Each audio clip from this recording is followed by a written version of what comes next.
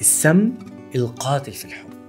تخيلوا أنفسكم في علاقة مع شخص بيسيء معاملتكم وبيجرحكم وبيهينكم بشكل مستمر وبيخليكم تشعروا أنكم بدون قيمة.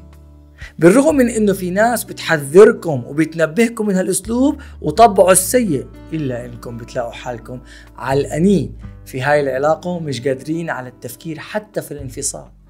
لأنكم بتعتبروا أنه هاي الخطوة بتحتاج لمجهود أكبر من البقاء نفسه. وهاي عينة من الوقوع في فخ العلاقات السامة فابعد عنها.